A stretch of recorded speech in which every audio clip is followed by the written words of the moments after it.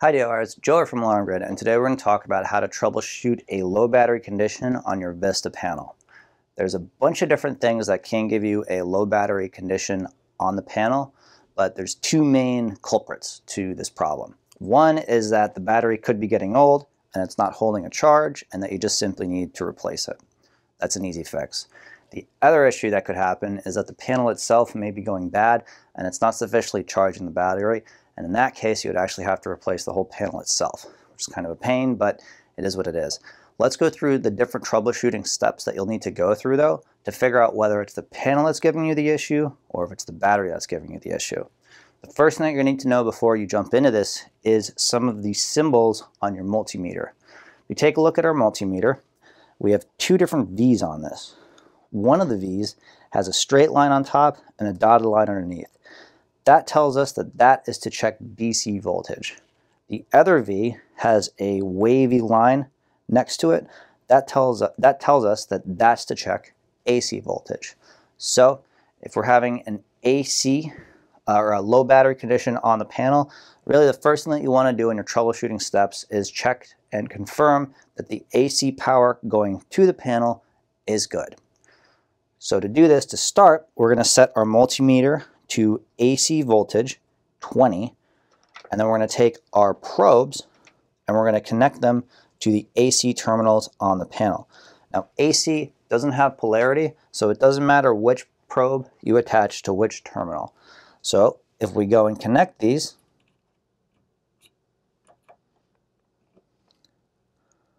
you'll see that we're getting 17 point 18, 19 volts AC at our AC panel connection, which is great. If we found that this was lower, or if it was 16.5 or lower, we next we'd want to check the wire integrity, and then we want to check the transformer that's making this connection to the AC terminals. If we were to do this, I don't have alligator clips on my probes, but to check the wire integrity, we would power the panel down 100%. So we'd undo the battery. And then we need to unplug the AC uh, leads from the terminals and then connect our probes to those wires with them unplugged. Our voltage should be relatively close to what we read when it was on the panel. If it's not, that tells us that there's an issue on the wire or on the transformer itself. So let's say that we found that the voltage drops when we've removed this wire from the, uh, or that the voltage is still low when we remove the wire from the, from the panel. We want to then check to see if our transformer is good or not. So to do that, I'm going to unplug the transformer from our power and I'm going to remove the wires from the transformer. I'm going to reconnect the transformer back to power. And then with my multimeter still on 20 volts AC, I'm going to connect my probes to the terminals on the back of the transformer. And we're getting 17.6 volts. So that's telling us that this transformer is good and that if there was an issue, it would be on the wire if we found that before. If you're finding that the voltage coming from the transformer is no good, the next step would be to check if the outlet the transformer is plugged into is providing sufficient voltage to the transformer. If it is, and the transformer is still getting a bad reading, that tells you that the transformer itself is no good. So to check the outlet, what you're going to have to do is set your voltage to 200 for AC voltage checking because all of the outlets in your house, they're going to be 110 to 120 AC for these transformers and just about everything else. It's very unlikely that you're going to bump into a 240 volt circuit, but if you see anything like that around, leave it alone and don't touch it. The transformer, again, it wouldn't even be able to be up. the transformer, again, it wouldn't even be able to be plugged into a 240 volt circuit. And that's as far as we're going to go with that. So we have our multimeter set to 200 volts for the check AC. And if I take my probes and I stick them into the outlet, that my transformer is plugged into.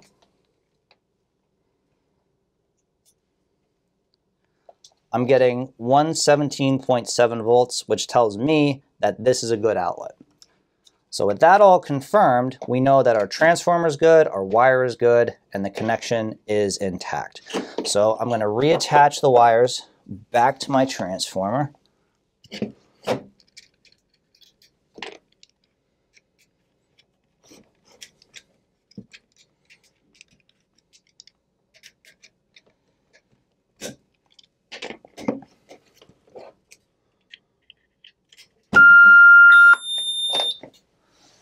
And the panel's powering up. The next step, if we're still getting a low battery condition, after this would be to check to see if any of the other wires in the panel are causing the issues for the panel's uh, charging ability. If one of these wires has a staple through it, if there's some integrity problems, it could potentially drain the AC and it could interfere with the battery charging.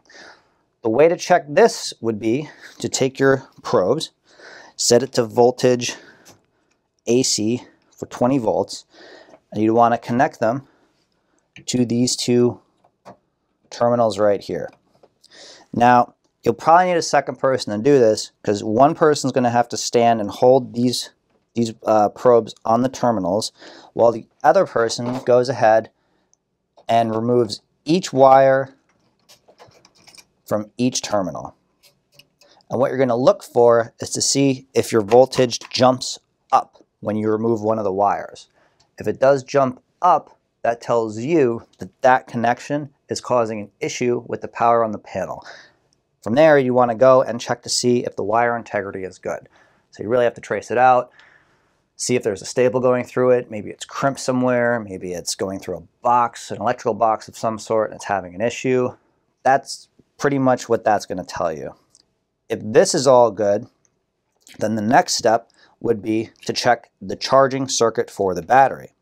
So to do that, because our battery charging circuit is 12 volts DC, we're going to have to switch the multimeter to DC voltage checking. So from here, as I said before, our DC is the V with the straight line and the dotted line. I'm going to set this up to 20 because that'll cover 12 obviously.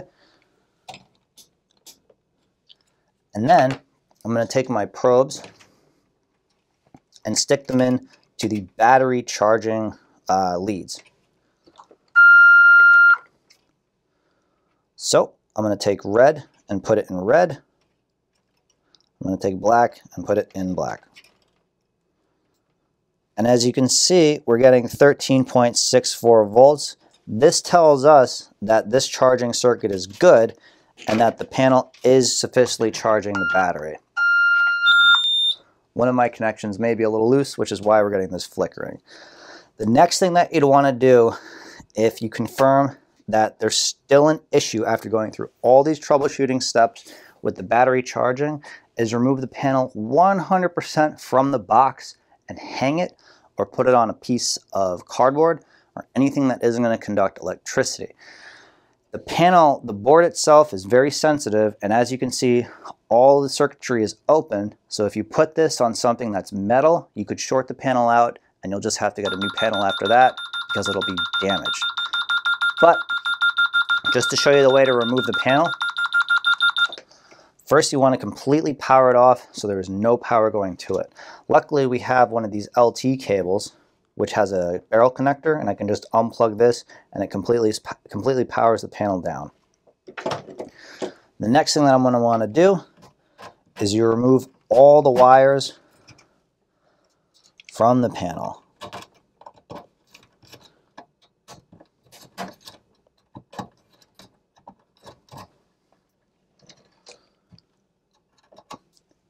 We don't have any connection on our cable right now. There's no power going to it, so we know that our panel is 100% powered down. This panel actually has a Vista GS M4G cell card, which we will need to just simply unplug before we remove it, which has a little connection right there. Now these panels, they have two screws on the bottom which you'll need to undo